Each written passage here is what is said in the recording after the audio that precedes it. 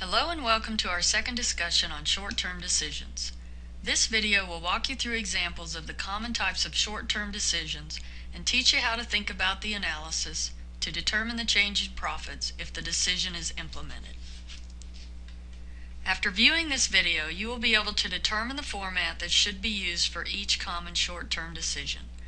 You will learn to identify relevant items to include in the analysis and determine the change to profits that will occur if the short-term decision is implemented. Our first example will be a special order. The request to buy a large quantity at $8 instead of the normal sales price of $10 makes this situation a special order. As you read the information related to the special order, identify the relevant items that will change if the special order is accepted. Only relevant items will be included in the analysis. The variable product costs, direct material, direct labor, and variable overhead are always relevant to a special order because the products must be made before they can be sold. The variable selling costs that will not be incurred are not relevant because the company's total selling cost will not change. A change in total cost of the company is what makes a cost relevant.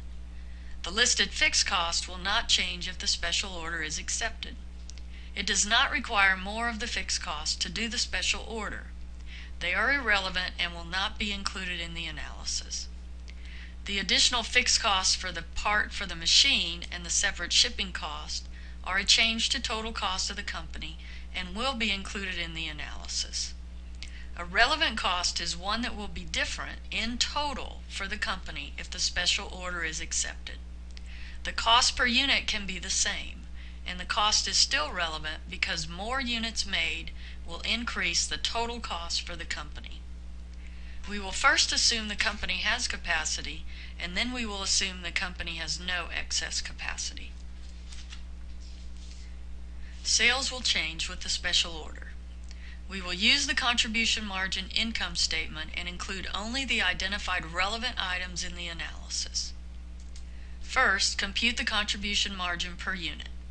A change in total makes the item relevant. The per unit amount can stay the same and still be relevant. Multiply the contribution margin per unit by the units in the special order to get the total contribution margin from the special order. Subtract the added fixed cost to get the change in profits from the special order. Selling at a lower cost, as long as there is capacity, can be profitable when the company incurs limited added fixed cost. Now, assume the company does not have the capacity to do the order without selling to regular customers. When the company does not have excess capacity, the contribution margin loss from normal orders that will not occur must be considered. First, compute the contribution from a regular order. Include the normal sales price and all normal variable cost. Multiply this by the units in the special order that will not be sold to regular customers. This is the contribution margin lost when units are not sold to regular customers. The contribution margin loss must be compared to the increase in profits from the special order. The company will lose more than it gains, and the special order should not be accepted if the company is already producing at capacity.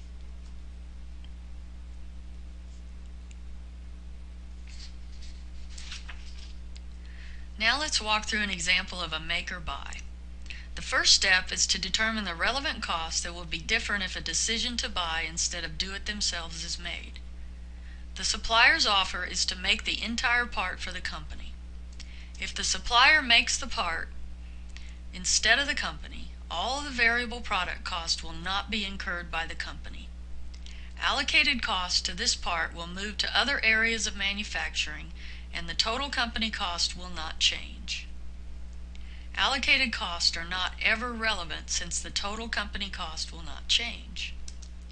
Fixed manufacturing and overhead related to machines that only make this part and the supervisor for this part will not be incurred if the part is made, is not made. As such, these costs are relevant. Warehouse costs will be reduced if the part is purchased. A change in cost is relevant. All relevant costs will be included in the analysis. A make or buy decision does not affect sales. Sales won't change, therefore the contribution margin income statement is not used. Let's begin with the buy side first. The cost per unit and the warehouse costs that won't be paid if the company buys the part are relevant. Include only relevant items that will change. On the make side, list all the costs the company won't incur if the part is purchased from the supplier. You should notice that the fixed costs are included in the cost per unit because the problem presents it this way. This should only be done when the quantity is not expected to change. You should almost always subtract fixed cost in total after you compute the total variable cost. The additional cost to buy the part is lower than the added cost to make the part. Therefore, the part should be purchased from the supplier. The maximum amount the company should pay someone else to make the part should not be greater than the cost per unit the company incurs to make the part themselves.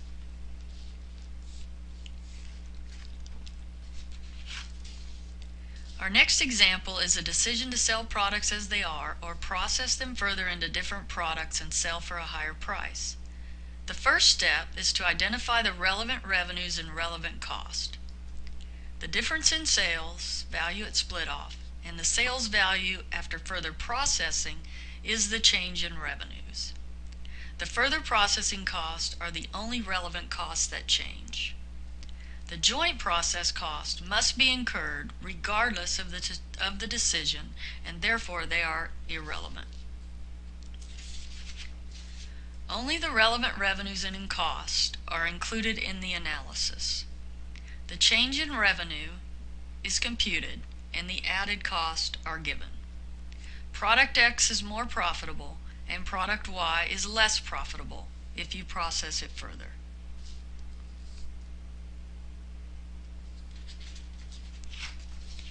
Our next decision is whether to drop a product line. Dropping a product line will change the company's total sales and therefore the contribution margin income statement format is used. The accountant must first sort the information by variable and fixed expenses and determine if fixed expenses are directly related to the product or if fixed expenses are allocated to product lines. Direct costs are only related to the particular product line. If the product line goes away, the cost will go away also. Allocated cost will be incurred by the total company even if the product line goes away. Cost allocated to product B will be moved to product A if product B goes away, and the company's total cost will not change. The company expects that some customers who purchase product B will purchase product A if product B is no longer available. Sales will change if product B is added, therefore the contribution margin income statement format is used. Compute the contribution margin generated by product line B and compare it to the fixed costs that will be saved. The net is the change to operating income if product B is dropped. The company will lose 200,000 more than it saves in fixed cost. Next, consider the change in product A sales if product B is dropped. The sales increase will result in an additional 80,000 contribution margin and income because there will be no change in fixed cost. This can be computed using either of the two ways presented. The loss from product B is netted with the gain in income from the higher sales of product A. The net loss of 120,000 from dropping product B. The company should not drop product B. The contribution margin from product B is needed to cover other fixed costs of the company.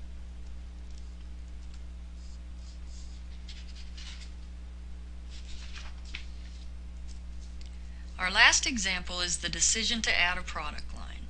The first step in doing the analysis of a short-term decision is to identify the relevant items, the sales and costs that will change for the company if product Y is added. The sales price and all variable costs related to line Y are relevant. Direct fixed costs will also change. The company will not incur direct cost if product Y is not added. Shared costs are the same as allocated cost. The total for the company, 85,000, is allocated to all other product lines if product Y is not added. As such, the total cost will not change. It will just be shared by the two products. Sales will change, so use the contribution margin income statement format. Compute the total contribution margin generated by product Y and compare this to the added fixed cost. The result will be an additional 20,000 in operating income. Ignore costs that will not change if product Y is added.